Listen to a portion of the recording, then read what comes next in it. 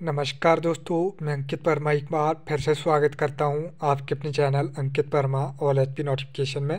तो दोस्तों, जैसा कि आप थंबनेल पे देख चुके हैं, अभी की जो ताज़ा खबर ब्रेकिंग न्यूज़ आई है कि शमशान घाट से वापस ले आए लाश, क्या न्यूज़ है, कहाँ की न्यूज़ है, चलिए जानकारी आपको इस वीडियो में देते हैं।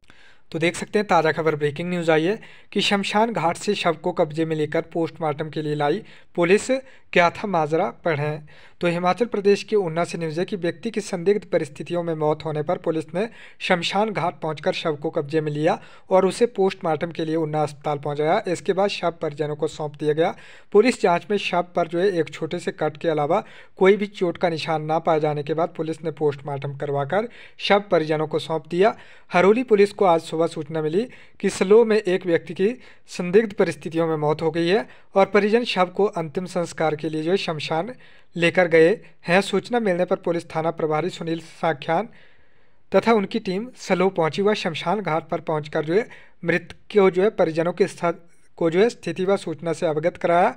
उन्होंने सहयोग करते हुए ये पुलिस की बात मानी। थाना प्रभारी ने लाश का बारीकी से मुआयना किया व लाश को कब्जे में लेकर पोस्टमार्टम के लिए ऊना जिला ऊना के अस्पताल भेजा, जहाँ पर शव को पोस्टमार्टम करवाया गया। लाश पर एक छोटे से कट के अलावा कोई भी चोट का निशान नहीं पाया गया।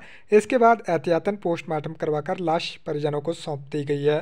तो दोस्तों, ये थी ताज़ा खबर ब्रेकिंग न्यूज़ हिमाचल प्रदेश के ऊना से। अगर आपने अभी तक वीडियो को शेयर नहीं किया, वीडियो को शेयर कर दें और चैनल को सब्सक्राइब करना बिल्कुल भी ना भूलें, ताकि अब तक हिमाचल प्रदेश की हर नोटिफिकेशन सबसे पहले पहुँच सके। धन्यवाद। जय हिंद। जय भारत।